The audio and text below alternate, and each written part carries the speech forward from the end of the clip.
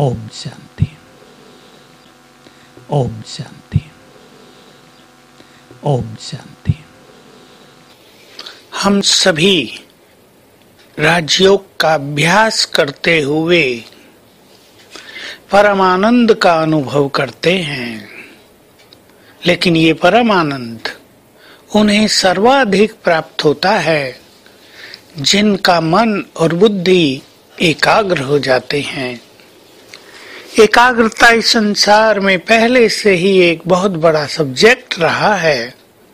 कोई मनुष्य सहज एकाग्र हो पाता है, कोई बिल्कुल नहीं हो पाता है। लेकिन एकाग्र होने के लिए जहाँ और बहुत सारी बातें आवश्यक हैं, वहीं ईश्वरीय नशा भी इसमें अहम भूमिका निभाता है। हमें अपने चित्त को ईश्वरीय खुमारी से भरपूर करना होगा। ब्रह्मा बाबा जैसे सदा इस नशे में रहते थे। मैं गॉडली स्टूडेंट हूँ। बहुत बड़ा नशा था उनको ये। भविष्य में मुझे नारायण बनना है। विश्व महाराजन बनना है। इस ईश्वरीय नशे ने उनको सचमुच बेफिक्र बादशाह बना दिया था। ईश्वरीय प्यार में मग्न कर दिया था। एकाग्रता में परफेक्ट कर दिया था। हम भी ईश्वरीय नशे में रहें। कौन पढ़ाने आया है हमें? किसने आकर हमें सत्य ज्ञान दिया है? सवेरे सवेरे स्वयं भगवान, परम शिक्षक बनकर हमें पढ़ाने आता है। तो स्वयं भगवान पढ़ाते हैं और हम गॉडली स्टूडेंट हैं। ये नशा जितना अधिक से अधिक हमें रहेगा, पढ़ाई पर उतना ही हमारा अटेंशन रहेगा, उतना ही हमें इस ईश्वरीय ज्ञान के अनमोल रत्नों की वैल्यू भी होगी। नहीं तो कईयों को ये ज्ञान बिल्कुल साधारण लगता है, वही तो आत्मा की बात है। लेकिन आत्मज्ञान तो अति गुह्य है, ये अनुभव होने लगेगा। हमें अपने भविष्य का नशा भी बाबा की तरह ही रखना है।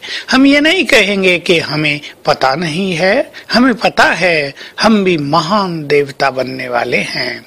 अपने देव स्वरूप को जितना ज़्यादा हम स्मृति में लाएँगे, हमारे अंदर देवत्व उतना ही आता जाएगा, देवत्व निखरता जाएगा। हमें ये नशा चढ़ा रहे कि ये देह छोड़कर मैं भी बहुत बहुत दिव्यता से भरपूर, पवित्रता से संपन्न देवता बनूँगा। अपना देव स्वरूप बार बार याद आता रहे। जैसे कि हमारे सामने खड़ा है, बहुत सुंदर अनुभव होंगे, और भी बहुत सारे नशे हमें अपने अंदर रखने हैं। कौन मुझे साथ दे रहा है? कौन मेरी जीवन नैया का खिवैया बना है? किसने मुझे कहा है बच्चे? सारे बोझ मुझे दे दो। मैं तुम्हारे साथ हूँ। किसने हमें कहा है बच्चे? तुम चिंता न करो, मैं जो हूँ, मैं जो बैठा हूँ, तुम बिल्कुल बेफिक्र बादशाह बन जाओ। तो हम ईश्वरीय खुमारी में चलें, ईश्वरीय खुमारी में रहें। बोले भी तो हमारे बोल से हमारा ईश्वरीय नशा प्रत्यक्ष झलकता हो, लेकिन ध्यान रहे, ये नशा बहुत सूक्ष्म है। ये बोलने का नहीं है। हम बार बार दूसरों को बोलेंगे, हमें भगवान मिला है, हमें भगवान पढ़ाता है तो लोग शायद उतना इस बात को स्वीकार न कर पाए। लेकिन हम सूक्ष्म रूप से जितना इस नशे में रहेंगे, उतना हमारे चेहरे पर एक रौनक रहेगी, एक रुहाव रहेगा। तो आज सारा दिन हम इस ईश्वरीय नशे का अभ्यास करेंगे। जब दो हमने कहे, मैं गॉडली स्टूडेंट हूँ, स्वयं भगवान ने हमें सत्य ज्ञान दिया है। बहुत बड़ी संपूर्णता की डिग्री हमें मिलने जा रही है।